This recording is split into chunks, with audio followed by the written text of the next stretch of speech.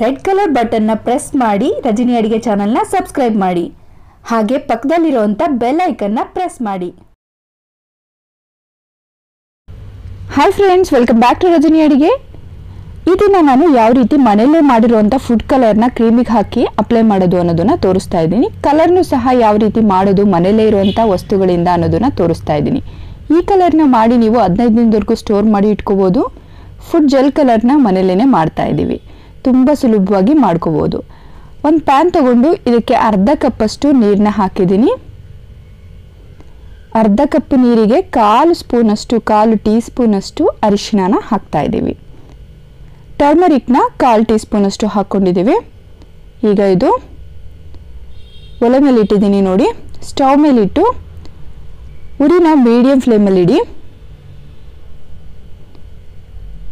ಇದರ ಬದಲಾಗಿ ನೀವು ಕೇಸರಿನ ಯೂಸ್ ಮಾಡ್ಬೋದು. ಈ ನೊರೆನೆಲ್ಲ ತೆಗಿಬೇಕಾಗತ್ತೆ. ಎಲ್ಲ ಫುಡ್ ಕಲರ್ ಮಾಡಬೇಕಾದ್ರೂ ಅಷ್ಟೇ. ಈ ರೀತಿ ನೊರೆ ಬರುತ್ತಲ್ಲ, ನೊರೆನ ತೆಗಿಬೇಕಾಗತ್ತೆ. ಈಗ ನಾನು ಮೂರು ಟೇಬಲ್ ಸ್ಪೂನಷ್ಟು ಸಕ್ಕರೆನ ಹಾಕಿದ್ದೀನಿ. ಎಲ್ಲ ಚೆನ್ನಾಗಿ ಮಿಕ್ಸ್ ಮಾಡಿ ಮೂರು ಟೇಬಲ್ ಸ್ಪೂನು ಶುಗರು ಚೆನ್ನಾಗಿ ಮಿಕ್ಸ್ ಮಾಡಿ ಇದನ್ನು ಮೀಡಿಯಂ ಫ್ಲೇಮಲ್ಲಿ ತಿರುಗಿಸ್ತಾನೆ ನೀವು. ಕುದಿಯೋಕೆ ಬಿಡಬೇಕು. ಚೆನ್ನಾಗಿ ಗಟ್ಟಿಯಾಗಬೇಕಿದು. ಅಂಟು ಪಾಕ ಬರಬೇಕು ಅಲ್ಲಿವರೆಗೂ ಕುದಿಸ್ಕೋಬೇಕಾಗತ್ತೆ. ಜಸ್ಟ್ ಅಂಟಿದ್ರೆ ಸಾಕಾಗುತ್ತೆ. ಅಂಟು ಪಾಕ ಬಂದಿದೆ ನೋಡಿ, ಗಟ್ಟಿಯಾಗಿದೆ. ಈಗ ನಾವು ಈ ಫ್ಲೇಮ್ನ ಆಫ್ ಮಾಡಿದ್ದೀವಿ ನಂತರ ಇದಕ್ಕೆ ನಿಂಬೆಹಣ್ಣಿನ ರಸನ ಹಾಕೋತಾ ಇದ್ದೀನಿ. ನಿಂಬೆಹಣ್ಣಿನ ರಸ ಯಾಕೆ ಹಾಕ್ತಿದ್ದೀವಿ ಅಂದರೆ, ಮಾಡಿಟ್ಟಿರುವಂಥ ಫುಡ್ ಕಲರು ಗಟ್ಟಿಯಾಗದೇ ಇರಲಿ ಅನ್ನೋದಕ್ಕೋಸ್ಕರ ನಿಂಬೆಹಣ್ಣಿನ ರಸನ ಹಾಕ್ತಾ ಇದ್ದೀವಿ. ಒನ್ ಟೀ ಸ್ಪೂನಷ್ಟು ನಿಂಬೆಹಣ್ಣಿನ ರಸ ಒಂದು ಎರಡು ಮೂರು ಹನಿ ವೆನಿಲಾ ಎಸೆನ್ಸ್ನ ಹಾಕಿ ಎತ್ತಿಟ್ಕೊಳ್ಳಿ. ವೆನಿಲಾ ಎಸೆನ್ಸ್ನ ಹಾಕದೇನೂ ಇರ್ಬೋದು. ನೋಡಿ, ಈಗ ನಾನಿಲ್ಲಿ ಬಟರ್ ಕ್ರೀಮಿಗೆ ಈ ಫುಡ್ ಕಲರ್ನ ಹಾಕ್ತಾ ಇದ್ದೀನಿ ಎಲ್ಲೋ ಫುಡ್ ಕಲರ್ನ ಯಾವ ರೀತಿ ಕಲರ್ ಚೇಂಜ್ ಆಗ್ತಿದೆ ಅಂತ ನೀವು ನೋಡ್ಬೋದು. ಯಾವುದೇ ರೀತಿ ಕೆಮಿಕಲ್ಸ್ ಇಲ್ಲದೇ ನಾವು ಮನೇಲೇ ಆರಾಮಾಗಿ ಲಿಕ್ವಿಡ್ ಫುಡ್ ಕಲರ್ಸ್ನ ಮಾಡ್ಕೋಬೋದು. ತುಂಬಾ ಸುಲಭವಾಗಿ ಮಾಡ್ಬೋದು. ಪೈಪಿಂಗ್ ಬ್ಯಾಗಿಗೆ ಈ ಕ್ರೀಮ್ನ ಹಾಕ್ತಾ ಇದ್ದೀನಿ. ಕ್ರೀಮ್ ಹಾಕಿ ನಾನು ಡಿಸೈನ್ ಮಾಡಿ ತೋರಿಸ್ತಾ ಇದ್ದೀನಿ. ತುಂಬ ಸುಲಭವಾಗಿರುತ್ತೆ. ನೋಡೋದಕ್ಕೂ ಅಷ್ಟೇ ಚೆನ್ನಾಗಿರುತ್ತೆ. ಯೆಲ್ಲೋ ಕಲರ್ ನೋಡಿ. ಸಿಂಪಲ್ಲಾಗಿ ಮನೇಲೇ ಇರುವಂಥ ಟರ್ಮರಿಕ್ಕಿಂದ ಮಾಡಿದ್ದೀವಿ. ಅರಿಶಿಣದಿಂದ ಫುಡ್ ಕಲರ್ನ ಮಾಡಿದ್ದೀವಿ. ನೋಡಿ, ಇನ್ನೊಂದು ಡಿಸೈನ್ನ ಮಾಡಿ ತೋರಿಸ್ತಾ ಇದ್ದೀನಿ. ಬಿಸ್ಕೆಟ್ ಮೇಲೆ ನಾನು. ಈ ರೀತಿ ಸ್ಮಾಲ್ ಸ್ಮಾಲ್ ಫ್ಲವರ್ಸ್ನ ಮಾಡ್ಬೋದು.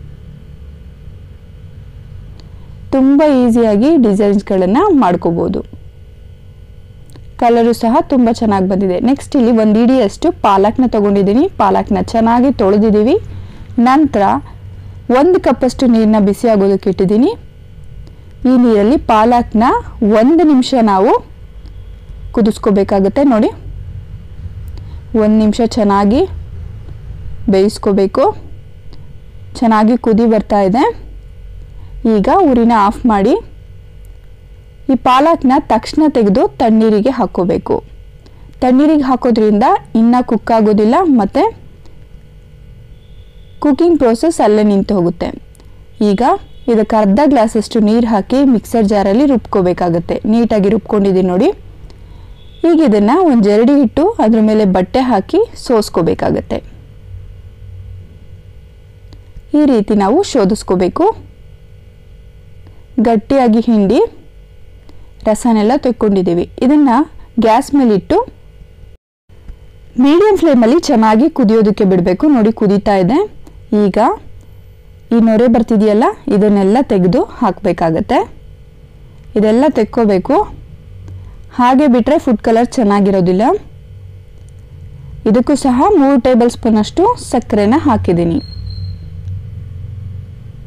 ಚೆನ್ನಾಗಿ ಮಿಕ್ಸ್ ಮಾಡಿ ಸಕ್ಕರೆ ಹಾಕಿದ್ಮೇಲೆ ಗಟ್ಟಿ ಆಗ್ತಾ ಬರಬೇಕು ಅಂಟು ಪಾಕ ಬರಬೇಕು. ಅಲ್ಲಿವರೆಗೂ ನಾವು ಕುದಿಸ್ಕೊತಾ ಇದ್ದೀವಿ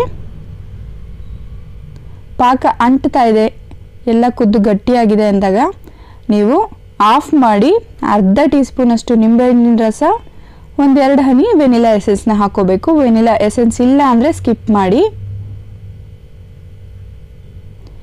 ತುಂಬ ಗಟ್ಟಿ ನಿಮಗೆ ಕ್ರಿಸ್ಟಲೈಸ್ ಆಗಿಬಿಡುತ್ತೆ.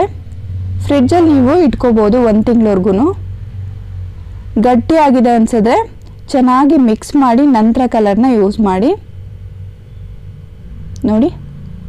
ಇದನ್ನು ಕಲರ್ನ ಮಿಕ್ಸ್ ಮಾಡಿ ನಾನು ಪೈಪಿಂಗ್ ಬ್ಯಾಗಿಗೆ ಹಾಕ್ಕೊಂಡಿದ್ದೀನಿ ಗ್ರೀನ್ ಫುಡ್ ಕಲರ್ನ ರೆಡಿ ಮಾಡಿದ್ದೀವಿ ಲೈಟ್ ಗ್ರೀನ್ ಆಗಿದೆ ಇದು. ನೀವು ಕಲರ್ನ ಜಾಸ್ತಿ ಹಾಕ್ಕೊಂಡ್ರೆ ಡಾರ್ಕ್ ಗ್ರೀನ್ ಮಾಡ್ಕೋಬೋದು ಕಲರ್ನ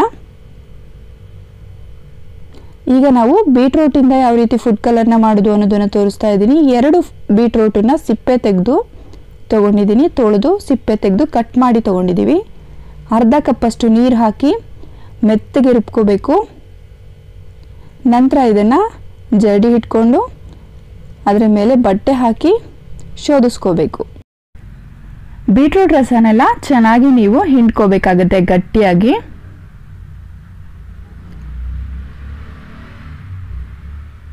ನೋಡಿ ಈ ರೀತಿ. ಗಟ್ಟಿಯಾಗಿ ಹಿಂಡಿ, ರಸನೆಲ್ಲ ಆದಷ್ಟು ಎಷ್ಟಾಗುತ್ತೋ ಅಷ್ಟು ತೆಗೆದಿರಿ. ಈಗ ಇದನ್ನು ಗ್ಯಾಸ್ ಮೇಲೆ ಇಟ್ಟಿದ್ದೀನಿ ನೋಡಿ. ಇದು ಸಹ ಚೆನ್ನಾಗಿ ಕುದಿಬೇಕು. ಕುದಿಬೇಕಾದ್ರೆ ನೊರೆ ನೊರೆ ಬರುತ್ತೆ. ಆ ನೊರೆನೆಲ್ಲ ತೆಗಿಬೇಕಾಗತ್ತೆ. ತೆಗೆದೆ ಹಾಗೆ ಬಿಟ್ಟರೆ ಕಲರ್ ಚೆನ್ನಾಗಿ ಬರೋದಿಲ್ಲ, ಚೆನ್ನಾಗಿ ಮಿಕ್ಸು ಆಗೋದಿಲ್ಲ. ತೆಗೆದ ನಂತರ ಇದಕ್ಕೆ ಮೂರು ಸ್ಪೂನಷ್ಟು ಸಕ್ಕರೆನ ಹಾಕ್ತಾ ಇದ್ದೀವಿ